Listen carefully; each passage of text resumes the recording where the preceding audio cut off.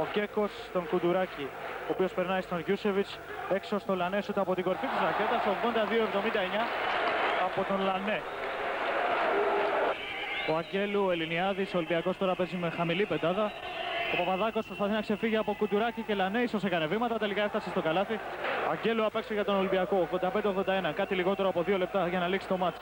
Σουτ για τρεις πόντους από τον Μίτσελ και νέο καλάθι από τον Τότ Μίτσελ, ο οποίος είναι βέβαια το α και το ω του Ολυμπιακού, ιδιαίτερα στην επίθεση. 85-84 στον ένα πόντο το μάτς, ένα λεπτό και 45 δευτερόλεπτα ακόμα. Σκουρτόπουλος. Και τώρα Γκέκος. Και πάλι Σκουρτόπουλος έξω από τα 6-25 και με τον Ελληνιάδη κοντά του. Λανές, Κουτουράκης. Κλέβει ο Μίτσελ και θα φύγει στον ευνηδιασμό. Να ευκαιρία για να προηγηθεί ο Ολυμπιακός. Τελικά φάουλ από τον Σκουρτόπουλο.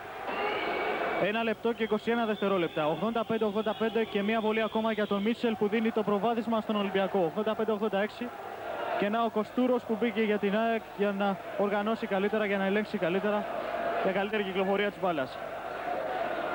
Πάντα ο κοντός όμως ομογενής, ο Χρής Κοστούρος, δίνει στο κουντουράκι και τώρα Λανές. Λανές με αντίπαλο τον Παπαδάκο. Γκέκος με τον Αγγέλου, Γιούσεβιτς με τον Μίτσελ.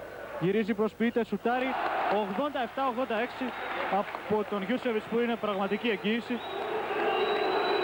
Ένα πόντο μπροστά η ΑΕΚ. Μία ή μία ομάδα μπροστά στο σκορ, μία η άλλη. Τα τελευταία δευτερόλεπτα θα είναι ασφαλώς συγκλονιστικά. Ελληνιάδης με τον Κοστούρο τώρα κοντά του. Αλλάζει με τον Αγγέλου. Σφυρίγματα δονούν το νέο κλειστό της ΑΕΚ. Ο Μανιάτης, ο Ελληνιάδης, 8 δευτερόλεπτα για τον Ολυμπιακό, 7. Ο Αγγέλους σουτ τριών πόντων. Το rebound και πάλι ο Ελληνιάδης για πέμπτη φορά στο σημερινό παιχνίδι. Ο Μανιάτης δύσκολο σουτ και 88-87. Τελευταία επίθεση του αγώνα 23 δευτερόλεπτα. Η καθοριστική επίθεση αν ευστοχίσει η ΑΕΚ κερδίζει το παιχνίδι, αν αστοχίσει το κερδίζει ο Ολυμπιακός.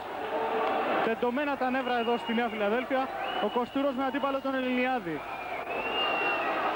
Κοστούρος πάντα τρυπογυρίζει, κλείνεται, ψάχνει και βρίσκει τον Γκέκο ο οποίος έχει διάδρομο. Πλησιάζει στο καλάθι και κάνει βήματα πρώτου Παπαδάκου. Λιγότερο από 4 δευτερόλεπτα ακόμα. Ο Μίτσελ απ' έξω στον Αγγέλου που θα κάνει το λάθος. Ο Κοστούρος γυρίζει έξω στον Γκέκο. Θα προλάβει ο Γκέκο, θα στοχίσει όμως από άριστη θέση. Πραγματικά εκπληκτική εξέλιξη στα τελευταία δευτερόλεπτα. Ο Ολυμπιακός πετυχαίνει πολύ μεγάλη νίκη με 88-87 επί της ΑΕΚ η οποία γενιάζει το καινούριο της γήπεδο.